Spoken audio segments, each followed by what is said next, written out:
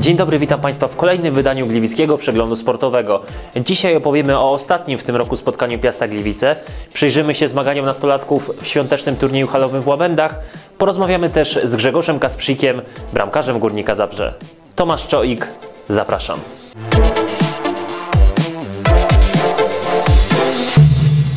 Zwycięstwo Piasta Gliwice w ostatnim meczu w roku 2015. Podopieczni Radosława Latala pokonali na własnym terenie aktualnego mistrza Polski Lecha Poznań 2 do 0. Bramki dla niebiesko-czerwonych zdobyli Bartosz Szeliga i Josip Barisic. Dzięki zwycięstwu Gliwiczanie utrzymali pięciopunktową przewagę nad drugą Legią Warszawa. Rok 2015 Piastunki zakończą na pierwszym miejscu w tabeli. Był ciężki, bo widać, że Lech to dobra drużyna, zresztą było widać też po stworzonych sytuacjach, ale mieliśmy więcej szczęścia. Udało nam się z tych takich trudnych momentach zdobywać bramki i 2-0.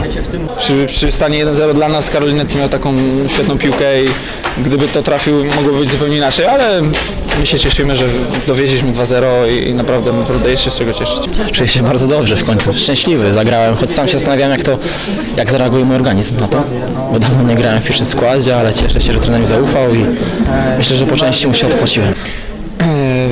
Nawet tak w końcówce spotkania rozmawiałem z, z Kendym, że, że bardzo dobrze graliście w piłkę, ale, ale brakowało właśnie też skuteczności i tak bym to określił, że, że piłkarsko fajnie, ale no jednak gdzieś ta skuteczność e, szwankowała. Przede wszystkim szczęśliwi, że, że wygraliśmy ten mecz, bo to było ważne, żeby to, co zbudowaliśmy przez cały sezon, nie stracić tego w ostatnich kolejkach, gdzie to zmęczenie, można powiedzieć, troszkę się nawarstwiło kolegów, którzy grali przez większość rundy.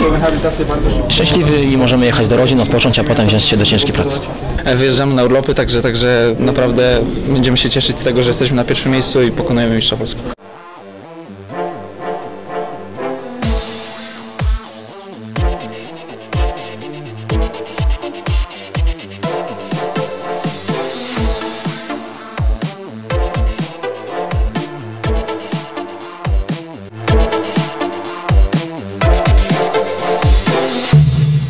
Hali Łabędź odbył się pierwszy świąteczny turniej piłki nożnej halowej o Puchar Zarządu ŁTS Łabędy. W zmaganiach rywalizowało 8 drużyn z rocznika 2003 i młodszych.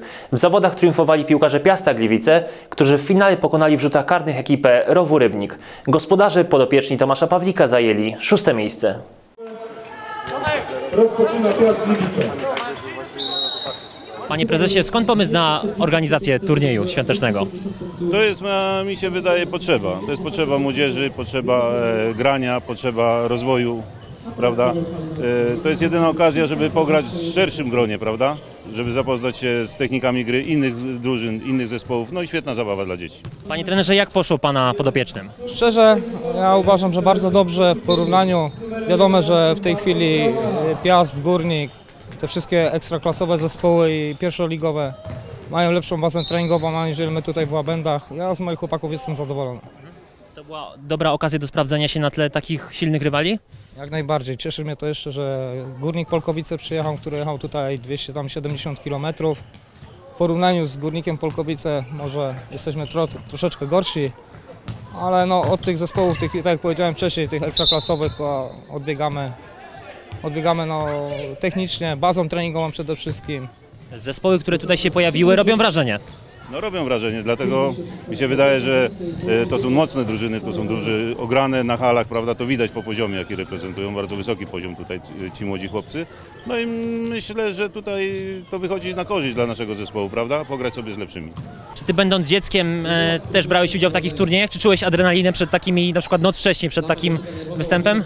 Nie, no to noc wcześniej była bardziej adrenalina związana z podróżą na, na ten turniej, bo to wiadomo, gdzieś się jeździło po tych turniejach czasami e, halowych, gdzieś tam e, nad morze, e, do Wejherowa, e, no było tego troszeczkę, to jest na pewno fajna rzecz, ja miło wspominam takie turnieje, zawsze dobra zabawa i, i kształcenie, spra sprawdzenie w rywalizacji z innymi zespołami. Kto jest wśród piłkarzy zarówno polskich, jak i światowych, kto jest waszym idolem? I dlaczego? Paul Pogba, bo gra na tej samej pozycji co ja i jest bardzo młodym zawodnikiem i dobrym. E, Leo Messi, bo strzela dużo bramek. Manuel Neuer, ponieważ też gra na bramce i jest mo- moim idolem, chcę go naśladować po prostu.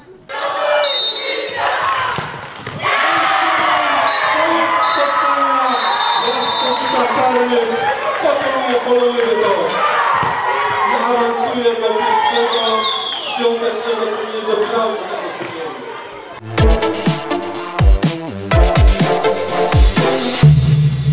Turniej w Łabędach czujnie obserwował golkiper Górnika Zabrze Grzegorz Kasprzyk, który w dzielnicy tej spędził sporą część dzieciństwa. Specjalnie dla telewizji Imperium 32-letni zawodnik podsumował rundę jesienną w wykonaniu piłkarzy z Roosevelta.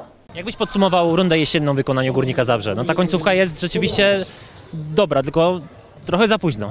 No na pewno, nie trochę, tylko dużo, dużo za późno e, nastąpiło przebudzenie i, i, i, i na pewno e, no, przespaliśmy tą większą część sezonu i, i, i, i na całe szczęście e, sytuacja potoczyła się tak, że teraz dzięki tym z 10 punktom, które zdobyliśmy w ostatnich czterech meczach, e, nastroje są dużo lepsze przed tym e, nowym rokiem i, i, przed tą drugim końcem rundy rewanżowej. Także, także szanse dalej na załapanie się do pierwszej ósemki nawet są teraz.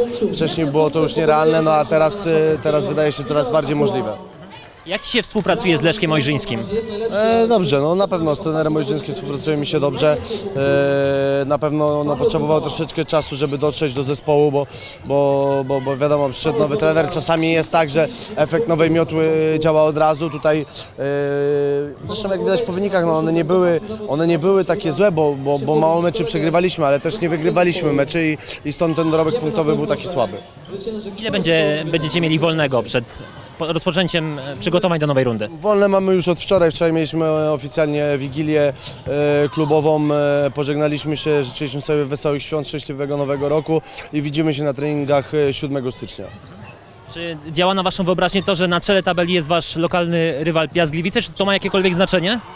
Nie no, kto jest na czele tabeli? No ktoś musi być na czele tabeli. Czy to będzie Piast, y, Piast, y, Górnik, y, Piast, Lech, Legia. No to jakaś drużyna zawsze musi być na czele. Najważniejsze jest to, kto będzie na czele na zakończenie tego sezonu, a do tego jeszcze daleka droga.